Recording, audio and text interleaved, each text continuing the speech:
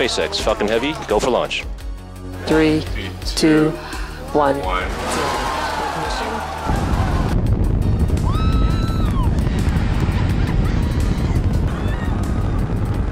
The 2018 awe-inspiring launch made Falcon Heavy the world's most powerful operational rocket, and at the same time, it made SpaceX the pride of the United States of America, making Russia, China, and Europe envious. Especially after more than four years of development, this beast will come back and rock the world with a series of missions in 2022. But is it really worth the hype? Well, let's find out in today's episode of Great SpaceX. The great thing is like so Falcon Heavy uh, opens up a new class of payload. Um, so it, it, can launch uh, more than twice as much payload as any other rocket in the world. So it's kind of up to customers what they might want to launch. But it can launch things direct to Pluto and beyond. Um, you know, no, no stop needed. What an extraordinary claim! According to SpaceX's website, the Falcon Heavy is 70 meters tall and can lift nearly 64 metric tons of payload to low Earth orbit, about twice the payload capacity of its closest competitor, United Launch Alliance's Delta IV Heavy.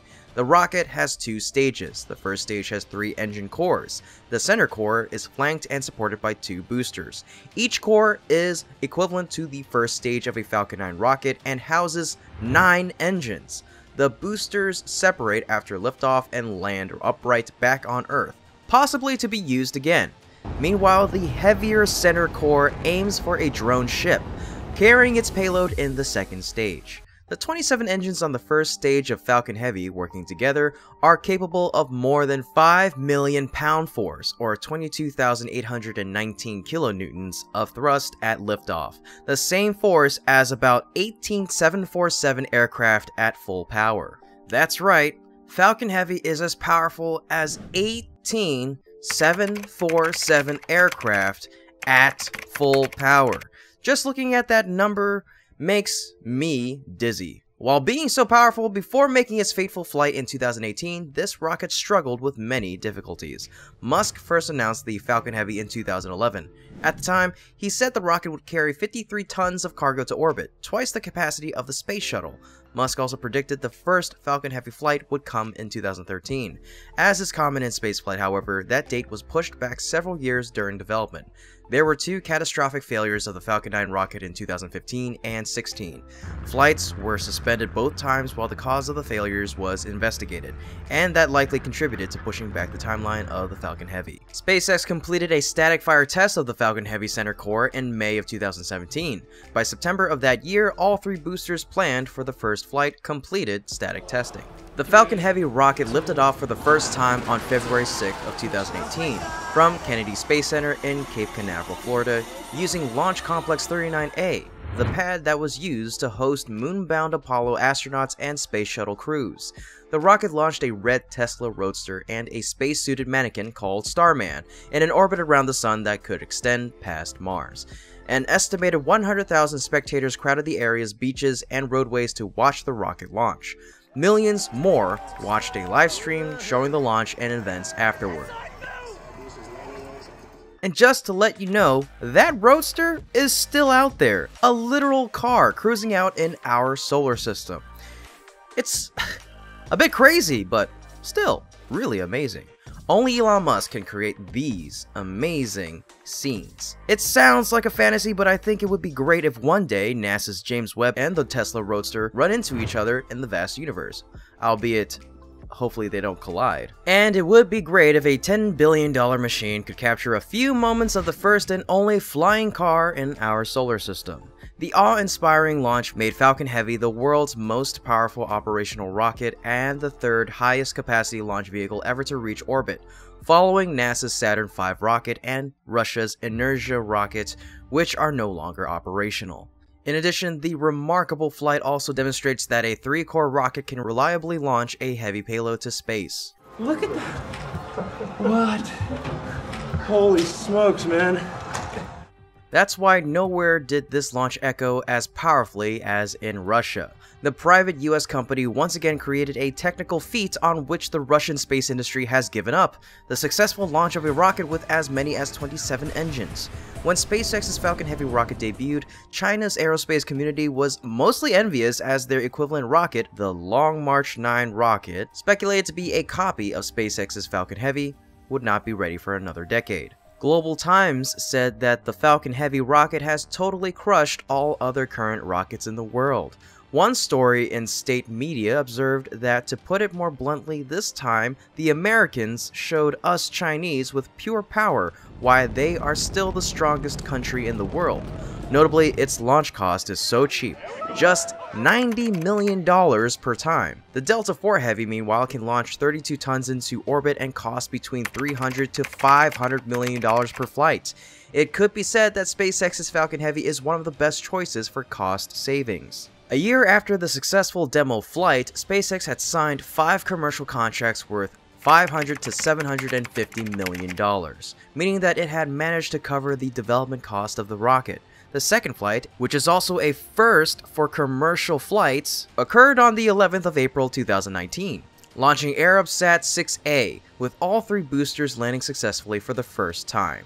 The third flight occurred on the 25th of June 2019, launching the STP-2, or the Department of Defense's Space Test Program's payload. The payload was composed of 25 small spacecraft, and this is also the last launch of the Falcon Heavy monster since then.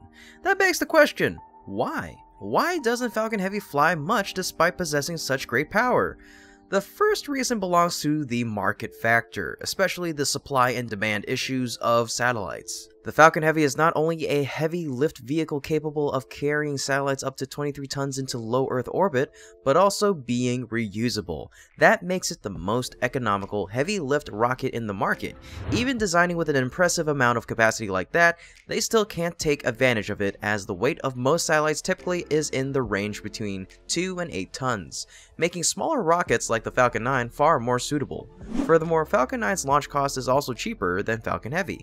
Thus, operational geostationary transfer orbit missions for Intelsat and Inmarsat, which were planned for late 2017, were moved from Falcon Heavy to the Falcon 9 full thrust rocket version as it had become powerful enough to lift those heavy payloads in its expendable configuration. Another factor affecting flight schedules is the development of Starship, SpaceX's next generation spacecraft. As of 2020, Elon Musk said Starship is SpaceX's top priority.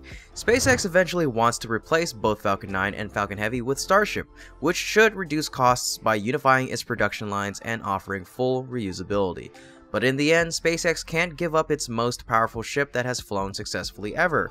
After nearly three years of absence, the monster has awakened and is about to overwhelm the world with its power.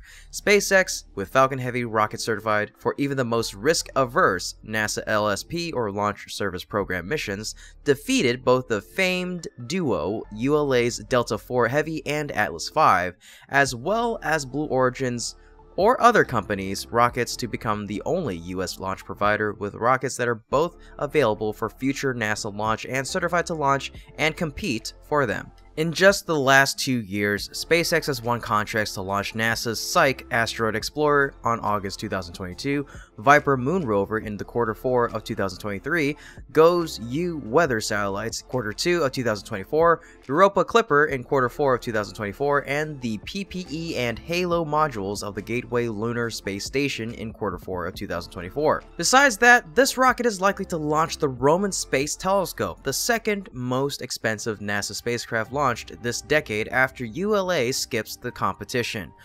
And don't forget, national security missions for the US Space Force have been delayed since last year. The first one is USSF 44, followed by 52 and 67, which is the last one. All three of these missions are expected to be done before this year's end. But it's a little bit of a pity that there are no target launch dates that have been announced yet so far. Wait, move that aside. There is a piece of good news we want to share with you. SpaceX has been spotted transporting a Falcon Heavy booster through NASA's Kennedy Space Center facilities on March 9th. While it's not entirely clear where the Falcon Heavy center core came from, it offered a slight glimpse behind the scenes amid an unending series of launches of the most powerful operational rocket in the world. 2022 will be a busy year for Falcon Heavy, and we're still waiting for the first comeback flight of it. And that's it for today's episode. If you enjoy what my team and I are doing and would like to continue supporting us in a huge way, you can become a patron through our Patreon link in the description below. And don't forget to tell us what you thought about today's content. Everyone's support motivates us to continue delivering quality content and to always improve. And as a quick note, if you have advertising needs, you can contact us directly via email. Anyways, this is Kevin with Great SpaceX, and my team and I will see you next time.